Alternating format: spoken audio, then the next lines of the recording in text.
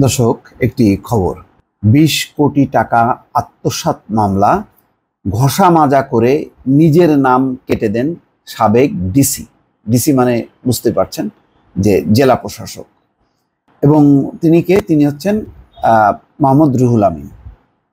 কক্সবাজারের তিনি ডিসি ছিলেন, তিনি এই কাজটি করেছেন।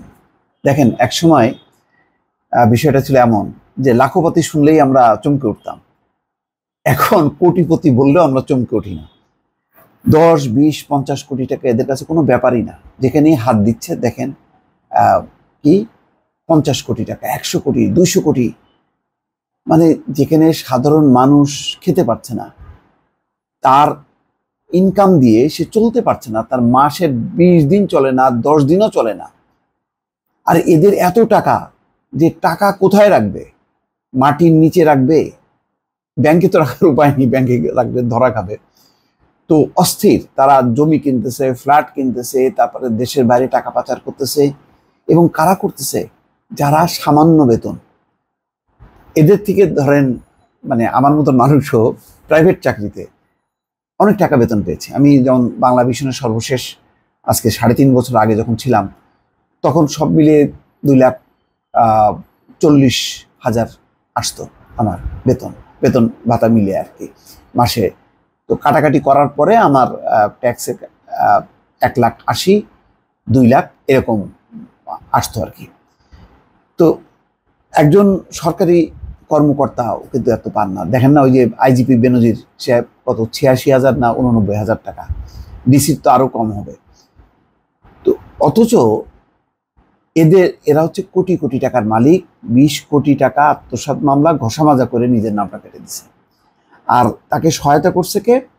তৎকালীন জেলা ও দায়রা জজ সাদিকুল ইসলাম তালুকদার সহ চারজন। কালকে আমি একটা টকশোতে ছিলাম দেশ টিভিতে, সেখানে আমি বলছিলাম যে এইগুলি হলো পুরো সিন্ডিকেট, মিলেমিশে হচ্ছে। এবং কে কাকে ধরবে? ধরেন এখানে প্রশাসন এবং বিচার। প্রশাসন হচ্ছে ওই রুহুল আমিন যিনি ডিসি আর বিচারকে, বিচার হচ্ছে ওই সাদিকুল ইসলাম তালুকদার, তিনি হচ্ছেন জজ। তাহলে দুই পক্ষ যদি মিলে যায়, কে কাকে ধরবে বলেন? এই জন্যই তো মানে ধরার উপায় নেই। আপনার সবাই তো চোর। মানে এমন তো না যে সেখানে একজন ভালো মানুষ আছে, সে এ করছে না। সব মিলেমিশে যখন নাকি একটা সিন্ডিকেট রূপান্তরিত হয়, সেটাকে ধরা আটকানো খুবই কঠিন। এখন বাস্তবতা হচ্ছে যে এই যে কোটি টাকার উপরে যখনই নাকি লেনদেন হচ্ছে বা আত্মসাৎ হচ্ছে, আপনি একদম নিশ্চিত থাকেন, এটা কোনো ব্যক্তির দুর্নীতি না, এটা হচ্ছে সিন্ডিকেটের দুর্নীতি, তার অংশ।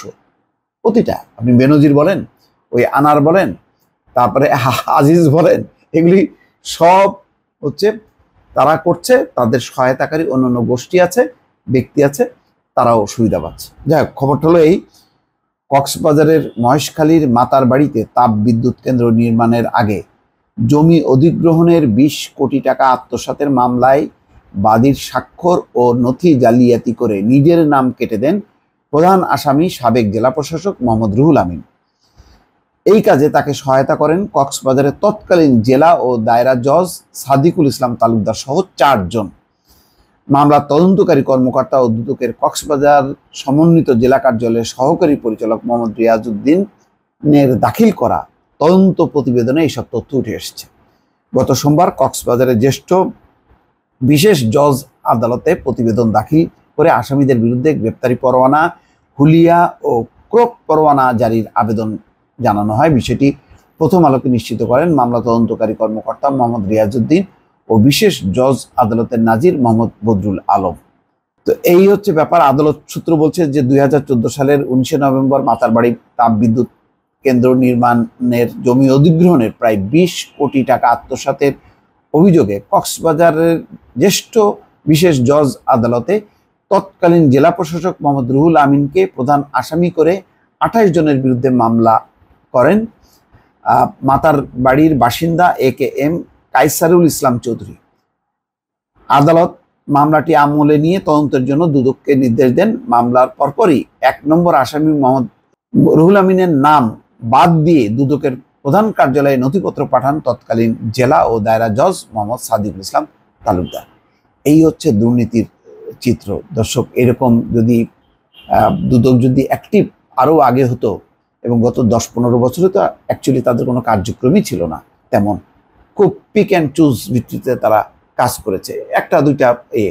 কিন্তু দুর্নীতির যেই বিস্তার, সেই বিস্তারের বিপরীতে দুদক বলেন, অন্যান্য সংস্থা বলেন, তাদের তৎপরতা খুবই ছিল, কম ছিল এবং সবই হলো, ধরেন দুর্নীতির একটা ঘটনা ধরা পড়ল, সেখানে কোনো পুলিশের কোনো টিম গেল বা দুদক বা অন্য, ওরা যে কি করল আচ্ছা ঠিক আছে ভাই, তোমার এটা আমরা এ করতেছি না, আসো, ভাগাভাগি করি।